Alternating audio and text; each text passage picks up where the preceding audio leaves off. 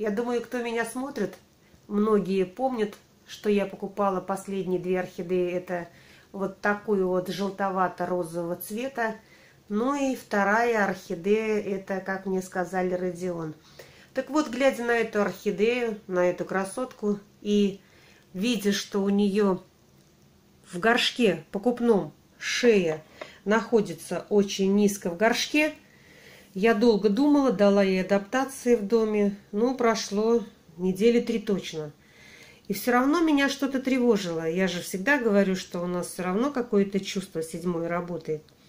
Или шестое чувство его называют.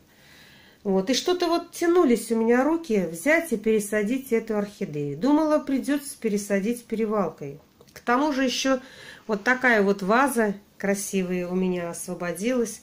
Я подумала, а почему бы не посадить такую орхидею красивую с таким высоким цветоносом именно в такую вазу? Ну так вот, когда я вчера вскрыла, вытащила эту орхидею из горшка, я заметила, что у нее есть чернота на нижних листьях, на нижних листьях.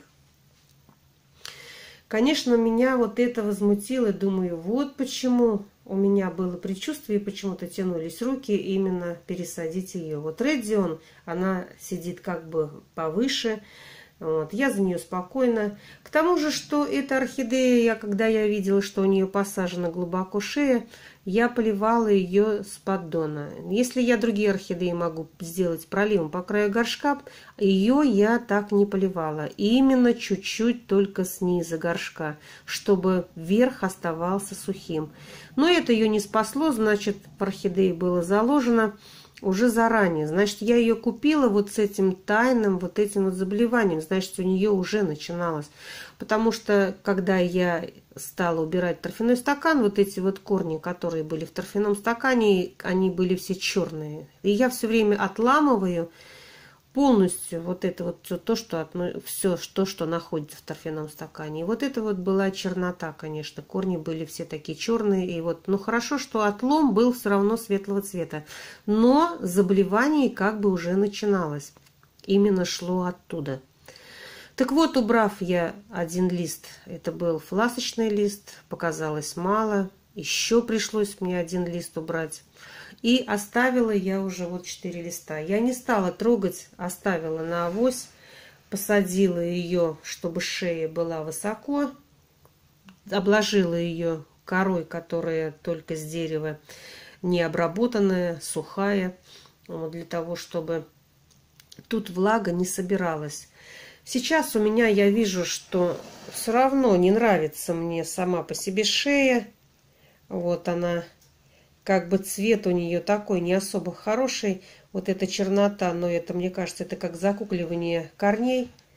Вот видите, чернота идет от цветоноса, вот эта часть черная. Ну, в общем, дальше тоже есть то же самое. Вот немножко чернота вот здесь вот. Вот уберу я. Вот, посмотрите. Вот. Там темнота тоже. И к тому же еще у нее, где был цветонос один, там осталась дыра. Обычно в такие дыры, где они остаются, очень легко попадает влага, ну и может произойти загнивание ствола. Я такие растения стараюсь как бы осторожно поливать, никогда их не душеваю, душем не пользуюсь с такими трещинами в стволе. Вот, стараюсь избегать попадания влаги именно в это место. Так вот, что я вчера сделала. Я взяла сухой фитоспорин и все это опудрила. Дальше снимать листья я не стала. Вырезать я ничего не стала. Мне нравится, как работает фитоспорин. Он убирает вот это все, подсушивает, оно подсыхает. И все обычно у меня получалось нормально. Тем более никакой мокрой гнили нету, все сухое. Но я уже за ней наблюдаю. Это было вчера. Сегодня я посмотрела, вроде как бы никаких изменений не произошло. Все как осталось, как было, так и осталось. Правда, я ее вчера, прошло некоторое время, я ее полила. Полила вот так. Вот. Вот так вот. Чтобы нижние корни напились, потому что орхидеи тургор-листьев такой был слабоватый, и мне все-таки пришлось ее попоить. Ну и корни при пересадке были такие вот сухие. Потому что после покупки особо же мы не балуем, когда орхидеи не пересаженные, мы особо не заливаем их влагой, стараемся давать потихоньку. Но орхидеи показалось, наверное, недостаточно, потому что я как почувствовала руками, трогая корни, что они такие вот уже как бы не слишком такие полные, такие вот, чтобы веломен у них такой был хороший, такой плотный. Вот, видно, какие-то они такие корни все-таки слегка приплюснутые.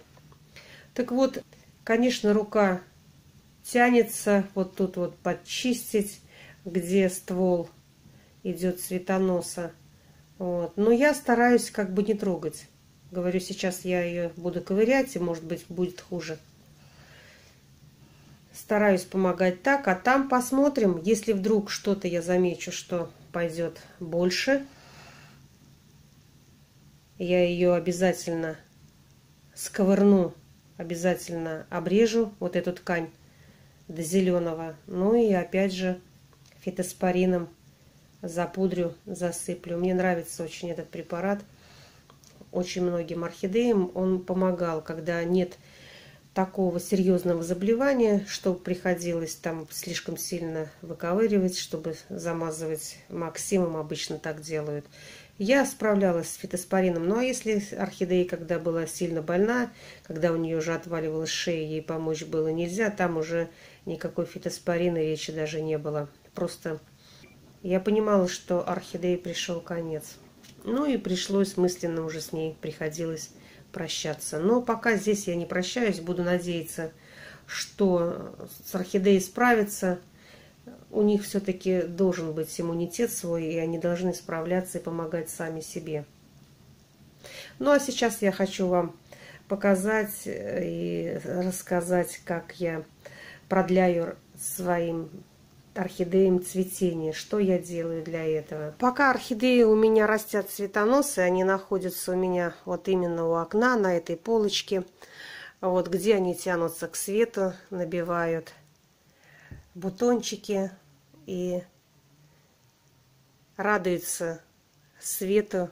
Они у меня все стоят около подоконника, некоторые на подоконник. Но в основном я такие не ставлю на подоконник, потому что, что подоконники у меня очень маленькие, сантиметров, наверное, 20, не больше. Ну и чтобы не сломались мои цветоносы, я их Держу именно вот на такой полочке, недалеко от окна. Шторы у меня постоянно открытые.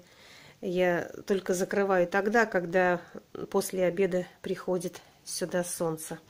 Ну и держу я свои орхидеи здесь до тех пор, пока откроется первый цветок. Открывается первый цветок, я их переношу. Вот видите, у меня следом вот тут вот стоит такая вот тумбочка – так вот, например, так я делала и поступила со своей орхидеей Савион.